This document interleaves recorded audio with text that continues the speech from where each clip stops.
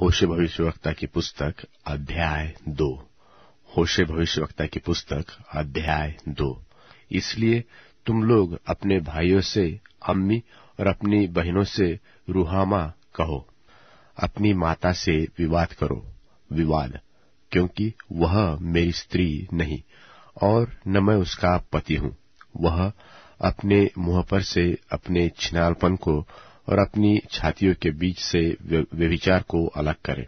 नहीं तो मैं उसके वस्त्र उतारकर उसको जन्म के दिन के समान नंगी करूँगा और उसको जंगल के समान और मरुभूमि सरीखी बनाऊँगा और प्यास से मार डालूँगा और उसके लड़के बालों पर भी मैं कुछ दया न करूँगा, क्योंकि वे कुकर्म के लड़के हैं, अर्थात उनकी माता ने छिनाल किया।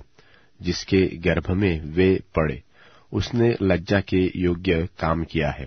उसने कहा कि मेरे यार जो मुझे रोटी, पानी, ऊन, सन, तेल और मद्य देते हैं, उन्हीं के पीछे मैं चलूँगी।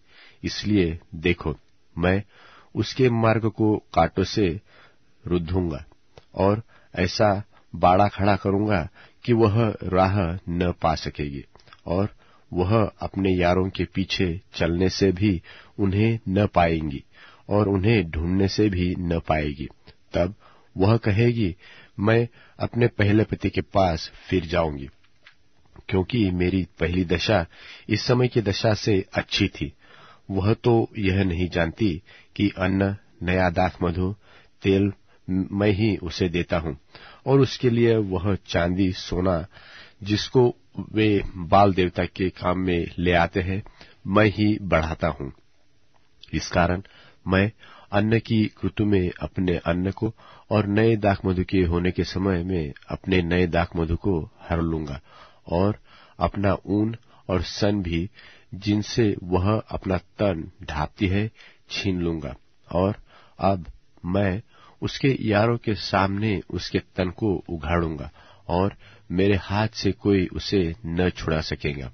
और मैं उसके पर्व, नए चाँद और विश्राम दिन आदि समय, सब नियत समयों के उत्सव का अंत कर दूँगा। और मैं उसकी दाखलताओं और अंजीर के वृक्षों को, जिनके विषय वह कहती है कि यह मेरे छिनाल की प्राप्ति है, जिसे मेरे यारों ने मुझे दी है, ऐसा बिगाड़ूँगा कि वे जंगल से हो जाएँगे।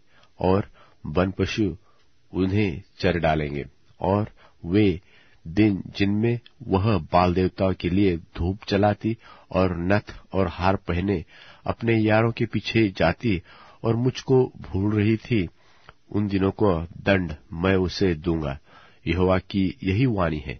इसलिए देखो, मैं उसे मोहित करके जंगल में ले जाऊँगा और वहाँ उससे शांति की बातें करूँगा और मैं उसको दाग की बारियाँ वही दूँगा और आकोर की तराई को आशा का द्वार कर दूँगा और वहाँ वह मुझसे ऐसी बातें कहेंगी जैसी अपनी जवानी के दिनों में अर्थात मिस्र देश से चले आने के समय कहती थी और यहोवा की यह वाणी है कि उस समय तू मुझे ईशी कहेंगी और फिर बाली न कहेगी क्योंकि मैं उससे बाल देवताओं के नाम भविष्य में लेने न दूँगा, और न उनके नाम फिर स्मरण में रहेंगे, और उस समय मैं उनके लिए वन पशुओं और आकाश के पक्षियों और भूमि पर रेंगने वाले जंतुओं के साथ वाचा बांधूँगा, और धनुष्य और तलवार तोड़कर युद्ध को उनके देश से दूर कर दूँगा,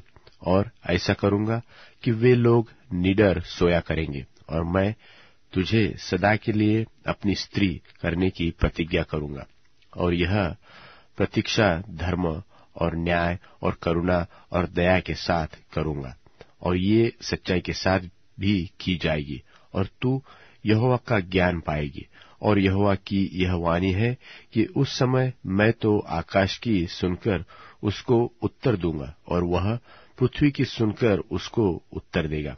और पृथ्वी, अन्न नए दाख मधु और ताज़ा तेल की सुनकर उनको उत्तर दे, देगी और ये इजराइल को उत्तर देंगे। और मैं अपने लिए उसको देश में बोऊँगा और लोरुहामा पर दया करूँगा और लो अम्मी से कहूँगा कि तू मेरी प्रजा है और वह कहेगा हे मेरे परमेश्वर।